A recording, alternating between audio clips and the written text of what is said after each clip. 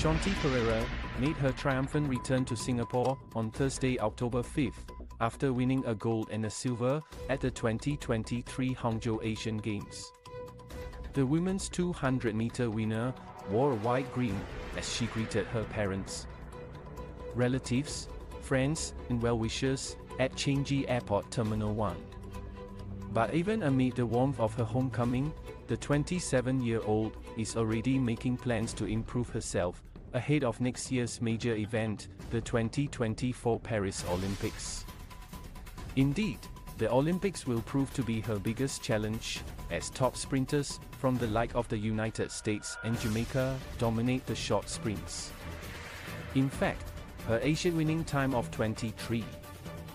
3 seconds in the 200m would put her only in 8th spot at the final at the 2021 Tokyo Olympics. Nonetheless, Pereira, who has already secured a Paris Games spot in the women's 200 meter, is ready to put in the effort after taking a well-earned break after her monumental Asian Games triumph. It's a lot of small technical things that I can definitely work on, things like my foot position, heat position and stuff like that, that ultimately contributes to milliseconds. She told reporters at the airport. Each step has a millisecond, you multiply that by the amount of sets I'm doing, it will cut down a lot of timings during training and yeah. Hopefully I can run faster. Small steps are exactly what Pereira has taken throughout this year in order to reach the pinnacle of Asian sprinting in Hangzhou.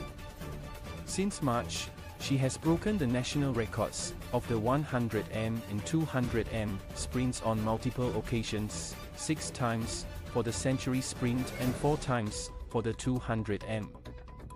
And she delivered during a busy year in which she was involved in four major athletics meets.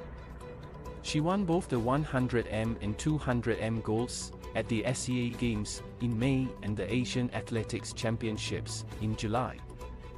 Set her fourth 200m national marquette, the World Athletics Championships, in August, before landing the coveted Asian Games gold and silver medals.